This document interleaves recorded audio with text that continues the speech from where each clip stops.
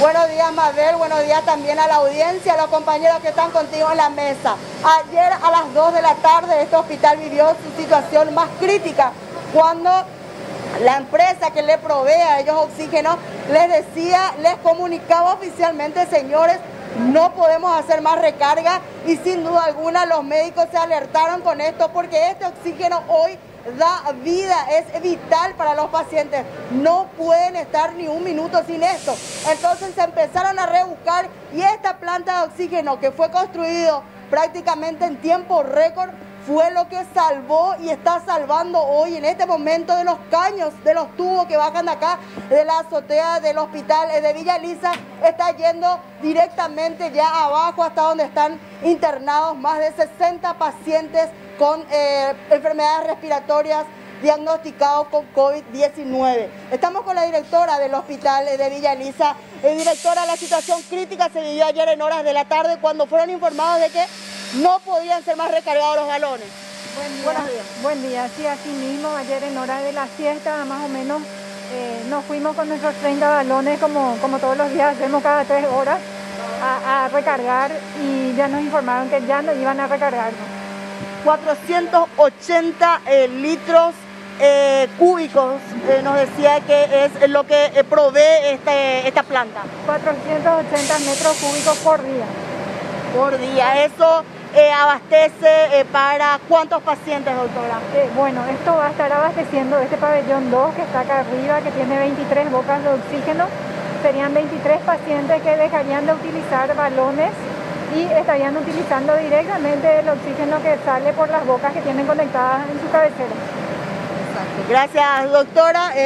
entonces, Mabel, ellos fueron informados por la empresa, es la oxígena, doctora. Así mismo la oxígena de que no iban a poder eh, ser recargados los eh, balones de oxígeno y se encendió la alarma.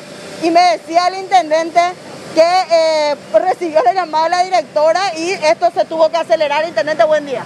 Buen día, esto realmente ayer a la mañana los técnicos encendieron la máquina, pusieron en funcionamiento, estaban calibrando, estaban viendo la pureza del oxígeno, estaba en funcionamiento y gracias a Dios teníamos preparado porque la falta de oxígeno que sufrimos ayer fue desesperante.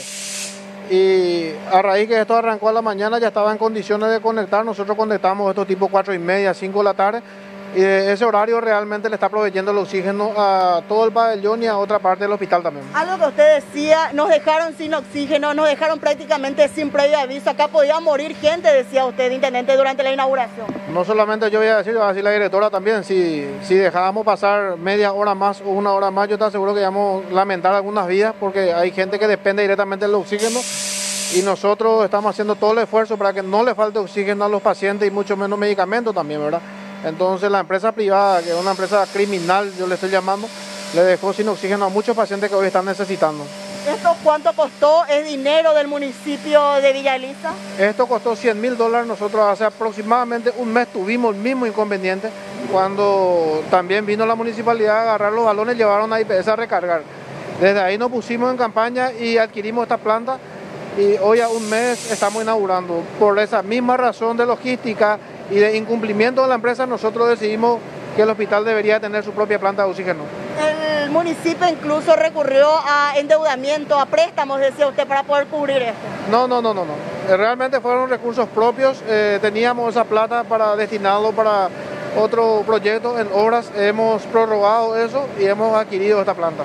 Gracias, Intendente Mabel. Entonces, se inaugura, esto se tenía que inaugurar recién mañana, pero lo adelantaron, incluso fue inaugurado ya ayer en horas de la tarde y empezó a salvar vida en este hospital, de la cual dependen hoy 60 pacientes que están abajo en uno de los pabellones intubados y esto le da vida. Y esto ahora está salvando y esperamos que eh, más eh, municipios repliquen esto porque las empresas proveedoras del sector privado de oxígeno hablaban de que prácticamente eh, también están teniendo inconvenientes.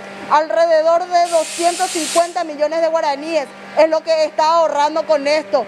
El Ministerio de Salud aclaraban también desde la Intendencia, entonces ellos esperan que ese monto de dinero se utilice para abastecer de insumos, medicamentos, equipamientos a este hospital de Villa Elisa que hoy está batiendo récord en gestión eh, tanto administrativa de la Intendencia como de este hospital para tratar de salvar más y más vidas, no solamente a gente de Villa Lisa, sino prácticamente a varios, eh, de, de varias ciudades del departamento central, Mabel.